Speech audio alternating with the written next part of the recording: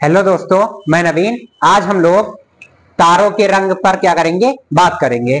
तारों के रंग में जैसे हमारा है नीला तो जिसका होगा पचास हज़ार से अट्ठाईस हज़ार सेल्सियस तापमान, वो उस तारे का रंग क्या होगा? नीला होगा।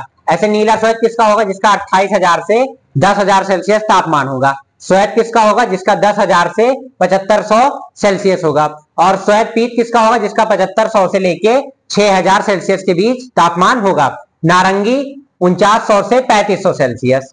और पीला किसका होगा? छह हज़ार से लेके उनचास सौ सेल्सियस के बीच। और लाल किसका होगा? पैंतीस सौ से लेके अट्ठाईस सौ सेल्सियस के बीच। अब हम कुछ उदाहरण देख लेते हैं। जैसे रीजल है जो तारा, उसका रंग क्या है? नीला है। बेगा जो है, उसका कलर क्या है? श्वेत है। कैपेला जो है, उसका कलर क्या है? पीला है। और साइरस जो तारा है, उसका रंग क्या है? श्वेत, नील है। धन्यवाद।